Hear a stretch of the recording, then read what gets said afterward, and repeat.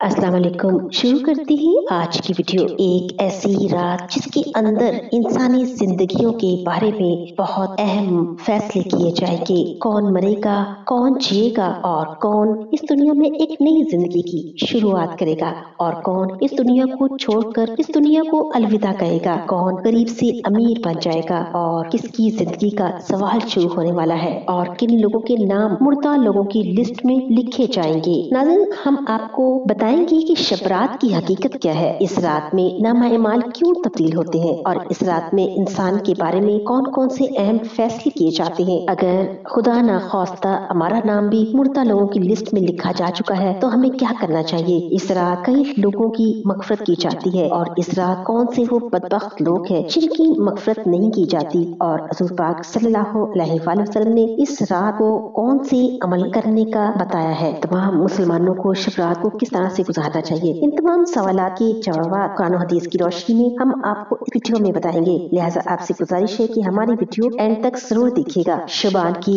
पंद्रहवीं रात को शब बरात कहा जाता है। शब बरात को शब रात को कहते हैं और बर का मतलब है बरी होना। चूँकि इस रात को मुसलमान तोबा करके अल्लाह पाक की बारका में अपने गुनाहों की माफ़ी तलब करते हैं और अल्लाह की बारका में अपने गुनाह को छोड़ने का अहद करते हैं। तो अल्लाह पाक अपनी रहमत के सदके बेशुमार मुसलमानों को जहन्नुम से निजात देता है। इसलिए इस रात को शब रात कहते हैं। हज़रत अता बिन बयान फरमाते हैं कि लैलतुल कदर के बाद शुबान की पंद्रहवीं रात सबसे अफसल रात है। शब बरात रिश्ते के लिए अल्लाह ताला ने ईद का दिन मुकर किया है। जिस तरह अल्लाह पाक ने ज़मीन पर रहने वाले इंसान को दो ईदें अता फरमाई है, इसी तरह अल्लाह पाक ने आसमानों के लिए भी दो ईदें मुकर की है। एक शब रात और दूसरी शब कदर इंसान चुके की दोनों ईदें दिन में मनाते हैं जबकि ये दोनों ईदें रात को मनाई जाती है। अल्लाह पाक ने इन दोनों रातों को फरिश्तों के लिए ईद मुकर किया है, क्योंकि इंसान रात को सो जाता है, जबकि फरिश्ते रात को सोते नहीं, वो हर वक्त अल्लाह पाक की इबादत में मसरूफ रहते हैं। शब बरात के बारे में अल्लाह पाक कुरान पाक में इशाद फरमाते हैं, कसम है उस रोशन किताब की, बेशक हमने इसी बरकत वाली रात में उतारा, बेशक हम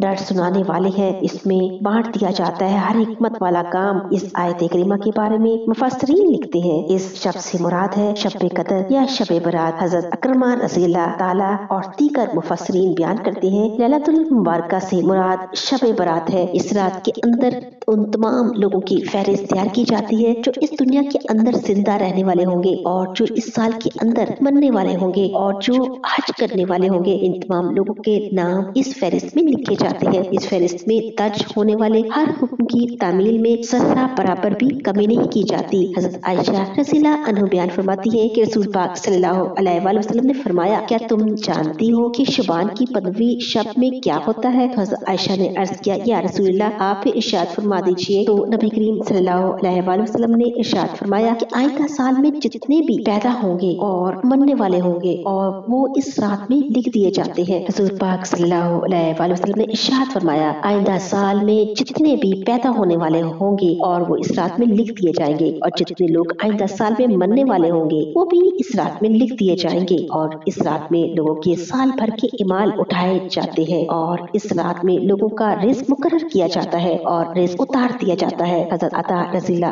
बयान फरमाते हैं कि शुबान की पंद्रहवीं रात को अल्लाह पाक मलकुल मौत को भी एक फहरिस्त देकर हुक्म फरमाते हैं कि जिन जिन लोगों के नाम इस फहरिस्त में लिखे हैं, उनकी रूह को आइंदा साल मुकर वक्तों पर कब्ज करना। इस रात में लोगों की ज़िंदगी और मौत का फैसला हो चुका होता है, जबकि लोगों के हालात शे होते हैं कि वो अपनी दुनिया में मगन होते हैं। कोई अपना बैंक बैलेंस बढ़ाने के चक्कर में लगा होता है तो कोई अपनी कोठी और बंगला तैयार करने लगा होता है। कोई अपनी शादियों की तैयारियों में लगा होता है, जबकि वो ये नहीं जानता कि उसका नाम मुर्दा लोगों की लिस्ट में लिखा जा चुका है। हज़रत उस्मान बिन समद ताला से मरवी है कि हज़रत पाक सल्लल्लाहु अलैहि वसल्लम ने फरमाया कि एक शबान से दूसरे शबान तक लोगों की ज़िंदगी मुनकते करने का वक्त इस रात में लिखा जाता है, जहाँ तक कि इंसान शादी ब्याह करता है और इसके बच्चे पैदा होते हैं। हालाँकि उसका नाम मुर्दों की फहरिस्त में लिखा जा चुका है। शब बरात की एक बड़ी खसूसियत ये भी है कि इस रात में अल्लाह पाक बेशुमार लोगों की बख्शिश फरमाते हैं, जैसा कि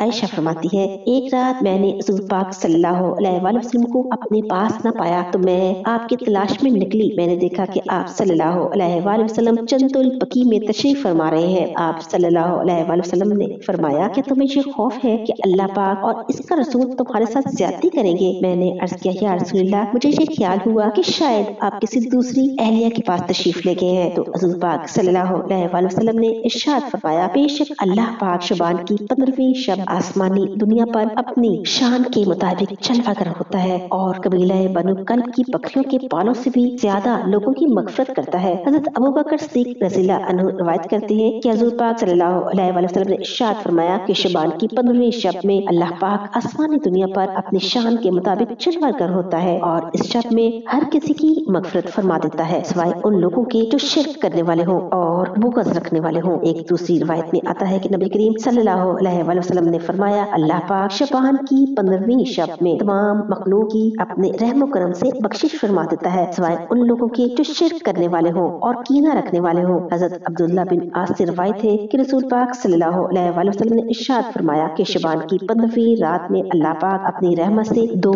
शख्सों के अलावा सबकी बख्शिश फरमा देता है। एक वो शख्स जो कीना रखने वाला हो, दूसरा वो शख्स जो किसी को नाहक कत्ल करने वाला हो। शब बरात में फरिश्तों को पास अमूर दिए जाते हैं और शब बरात एक ऐसी रात है जिसमें अल्लाह पाक मुसलमानों की मगफरत फरमाते हैं और दुआ को कबूल करते हैं। जैसा कि हज़रत उस्मान रजीला से रवायत है कि रसूल पाक सल्लल्लाहु अलैहि वसल्लम ने फरमाया, जब शबान की पंद्रहवीं शब आती है तो अल्लाह पाक की तरफ़ से ऐलान होता है। है कोई मगफरत तलब करने वाला कि उसके गुना बख्श को मुझसे माफ़ी मांगने वाला है? उसे अता करूँ। उस वक्त अल्लाह तबारक ताला जो मांगा चाहे देते हैं, वो सबकी दुआ कबूल फरमाते हैं। वाई बदकार और मुशरिक शख्स की हज़रत अली रजीला अनु से रवायत है कि गैब बताने वाले आका और मौला हज़रत मोहम्मद वसल्लम ने इरशाद फरमाया, जब शबान की पंद्रहवीं रात आती है तो रात को क्याम करो? दिन को रोजा रखो, क्योंकि गुरूब आफ्ताब के वक्त से ही अल्लाह पाक की रहमत आसमानी दुनिया पर नाजिल हो जाती है और अल्लाह पाक इरशाद फरमाते हैं, है कोई मगफरत तलब करने वाला? मैं उसको बख्श